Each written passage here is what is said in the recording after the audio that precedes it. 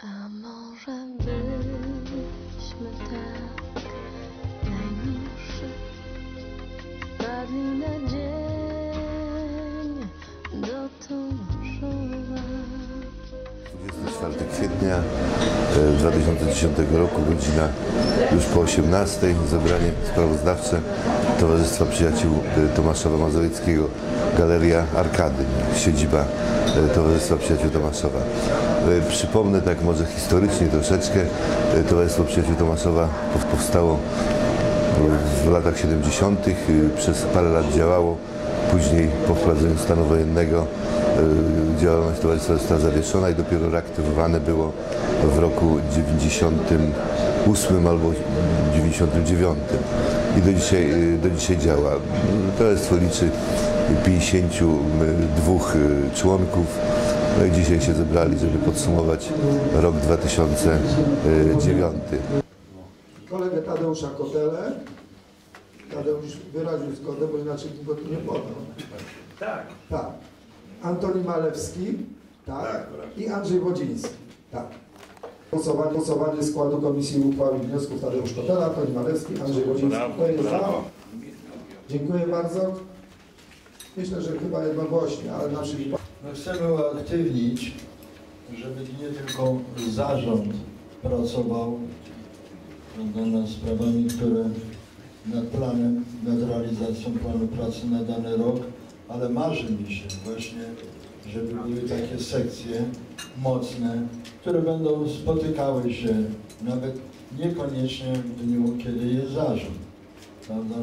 I proponujemy e, sekcję 3. E, Sekcja historyczna, powinniśmy myślę, że w tym kierunku mocniej trochę pracować.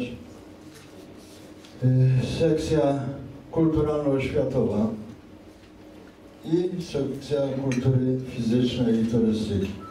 Ja Państwu te, te, teraz te listy oddam i proszę wpisywać się na jedną, jeżeli Państwo byście chcieli, na jedną z tych W sprawozdaniu y, było mówione na temat y, tego, co, co w 2009 towarzystwo zrobiło, między innymi no, różnego rodzaju konkursy, y, rajdy rodzinne już znane, znane w Tomaszowie okolicy, bo przypomnę, że zeszłoroczny, zeszłoroczny rajd rodzinny skupił y, 100, przeszło 100, 190 osób, także było, było bardzo, bardzo fajny rajd, bo zawsze jest tradycyjnie organizowany w ostatnią niedzielę y, sierpnia. Y, No, je- jedyne, jedyne co, co tutaj jest kłopotliwe, jeśli chodzi o towarzystwo, to średnia wieku jest dosyć wysoka, młodzieży bardzo, y, bardzo jest mało, ale no, towarzystwo sobie zakłada, że, że tą młodzież chce przyciągnąć. Dobrze, no, zobaczymy. Działałem w tym towarzystwie jako wiceprzewodniczący jedną kadencję przez 3 lata, później byłem przewodniczącym przez 3 lata, teraz jestem członkiem, tylko członkiem jestem, dlatego że y, nadmiar obowiązków służbowych powoduje to, że no nie, mam, nie mam na tyle czasu, żeby, żeby jeszcze zajmować się bezpośrednio Towarzystwem Przyjaciół Tomaszowa, ale uważam, że działalność jest y, bardzo pożyteczna. Sprawozdanie z działalności Towarzystwa Przyjaciół Tomaszowa Mazowieckiego w roku 2009. Członkowie zarządu Towarzystwa Przyjaciół Tomaszowa Mazowieckiego wzięli udział w kweście 1 listopada podczas Święta Zmarłych. Celem kwestii jest zbieranie środków pieniężnych umożliwiających renowację grobów zasłużonych dla naszego miasta. Dwa. Zarząd TPTM podjął energiczne kroki, których celem było przywrócenie atrakcyjności turystycznej jednemu z symboli turystyki Tomaszowa. Nawet jak to będzie wyglądało. Tam, gdzie jest to zapadlisko od strony lasu, już na górze od strony lasów, y, będzie, będzie tam dodatkowe wejście do, y, do grotu. Tam będą specjalne schody, jakieś tam, nie wiem, przykręcone, czy, czy tylko ty, czy, czy z łamańcami, ale będą tam dodatkowe wejścia do grot, także te groty będą reaktywowane i mówię, mówię bo, bo haraśny się zaparł i tak to zrobił, mówię dzięki mu za to, bo, bo jednak te groty były jakąś wizytówką, wizytówką Tomaszowa, Tomaszowa Mazowieckiego, tak jak dzisiaj jest y, między innymi skansen, skansen rzeki Pilice. Zarząd, zarząd był inspiratorem dzięki merytorycznym staraniom i finansowaniu go przez Urząd Miasta doprowadził do koncertu pieśni i piosenek patriotycznych. Zarząd TPTM skutecznie przygotował konkurs fotograficzny pod tytułem Cztery pory roku w Tomaszowie Mazowieckim. E, Zarząd, zarząd TPTM przeprowadził kolejny rodzinny rajd rowerowy z wieloma nagrodami. Pani Lucynko, dziękujemy. E, muzyką, ogniskiem, tańcami wspólnym śpiewaniem piosenek wiesianych. W razie wziął udział 192 uczestników. Członkowie TPTM byli twórcami wyjątkowo tomaszowskiej książki Moje miasto w rock'n'rollowym bicie. Pozwolę sobie Państwu przedstawić. Mamy naszego tutaj twórcę tej książki, Antoni Malecki. E, e, podjęte zostały także skuteczne działania w celu stanowienia hymnu dla naszego miasta.